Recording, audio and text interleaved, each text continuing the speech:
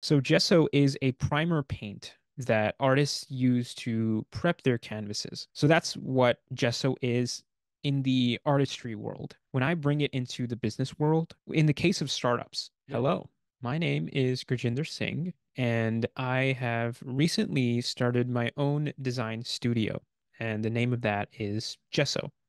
And this is in part a vlog kind of a thing, as I'm trying to build this design studio of my own.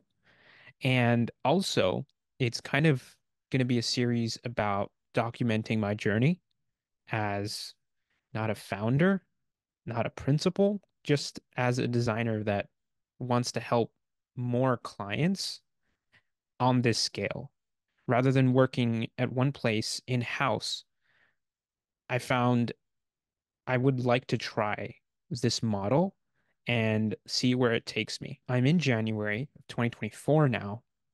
Uh, up until December of last year, I really had um, a lot of different ideas. And I think I've gone through maybe three or four different iterations of what my key service offering would be.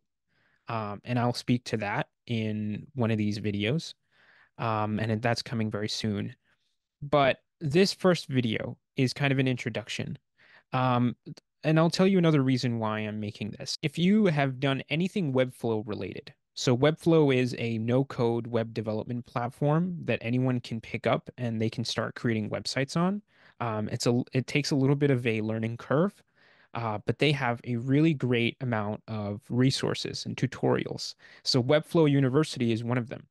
And for the longest time, uh, there was this one certain individual. His name is McGuire Brandon, which I learned his name very many years later. Like in those videos, I would just watch them and learn the Webflow part, but also be really, really entertained. Um, his education style was very comedic. And so a few years later, then, um, I see on his Twitter that he is moving on from Webflow and he's starting something of his own.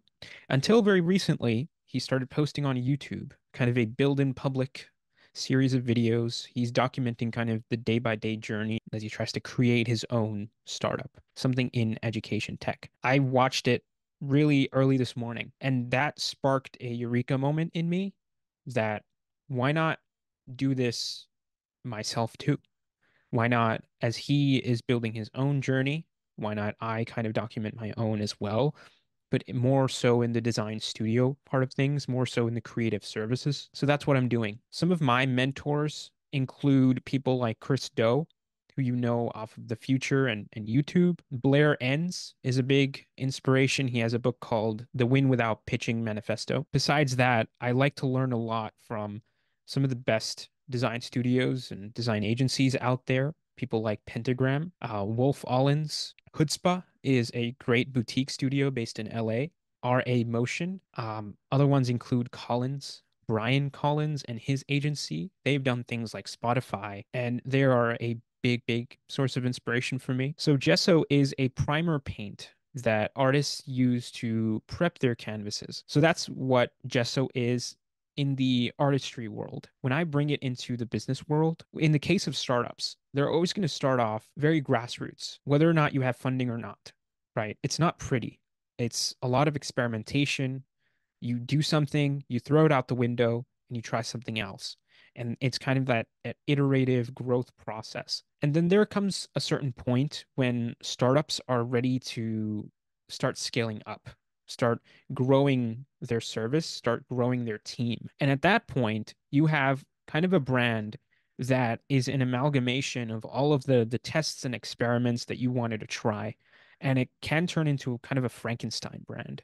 And I've worked in-house and I was an in-house designer that kind of walked into what was already kind of a scattered brand. I fragmented that brand even more so in my kind of intern time there. And that was maybe about a year full of it.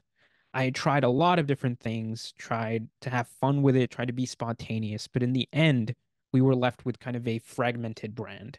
But then there always comes a certain point when you have to start polishing things and build a set of systems and processes so that when your brand is kind of added into this growing machine, then it doesn't cause any bottlenecks. So Gesso helps you prepare your canvas, your startup for that next phase of scaling up, for that next phase of growth. And so that's why I named it Gesso. The reason for that name goes back to my roots. Back in high school, I discovered kind of a hidden talent or a hidden passion for the arts, for painting specifically. If I call that back really to my childhood, then it was of watching Bob Ross painting tutorials on PBS um, that I think happened every evening or even every early morning before going off to school. And I turned that kind of into a design career. Uh, so I'm a self taught designer. My degree is in marketing. Advertising and communications was that track uh, that I chose. And I've been involved in the world of branding, of design, graphic design, communication design, advertising, marketing.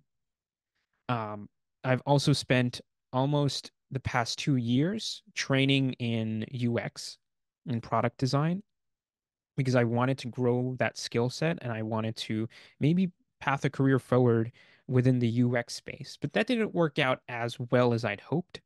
And that's a story for kind of a later date.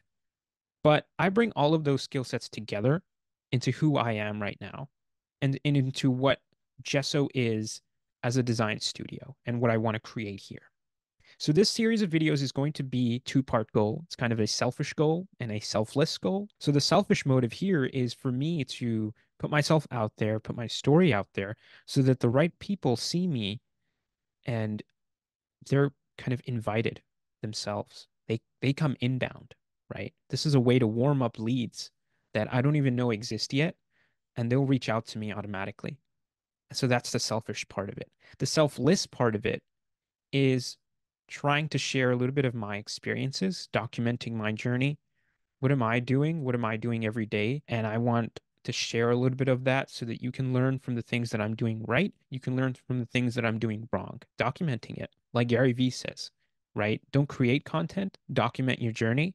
And you already have boatloads of content that you can then share. I've introduced the name Gesso. I've introduced myself. And this was just the first kind of documented video in this journey.